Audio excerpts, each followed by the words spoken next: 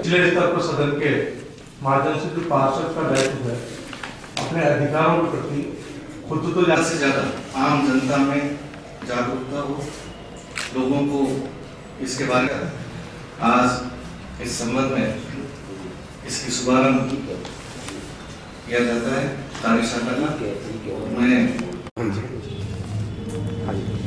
सभी वर्गों को, आम जन को मानव अधिकार संरक्षण अधिनियम उन्नीस सौ तिरानवे के संबंध में जानकारी प्राप्त हो, अधिक से अधिक लोग इसको ज्ञान प्राप्त कर सके। इस संबंध में, इस संबंध में आज जिला प्रशासन और राज्य सरकार के निर्देशानुसार नगर निगम कार्यालय में एक कार्यशाला का आयोजन किया गया है, जिसमें हमारे सभी सम्मानित पार्षदगण हैं।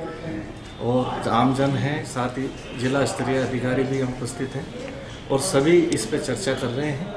और ये नियम जो अधिनियम दो उन्नीस है, उसके ऊपर विस्तृत चर्चा की जा रही है और साथ ही मानव अधिकार क्या हैं और उन पे अगर उसका हनन होता है तो किस तरीके से कहाँ इसकी अपील की जाए? जयपुर, मानव अधिकार आयोग है। राष्ट्रीय मानवाधिकार आयोग दिल्ली है।